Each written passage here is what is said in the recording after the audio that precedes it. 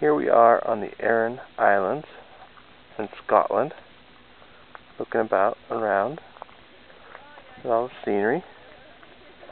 You see a mountain off in the distance. And then we look around, another mountain, and the ocean. And there's Chris, and here is one of the Standing Stones areas. And that's it for right now.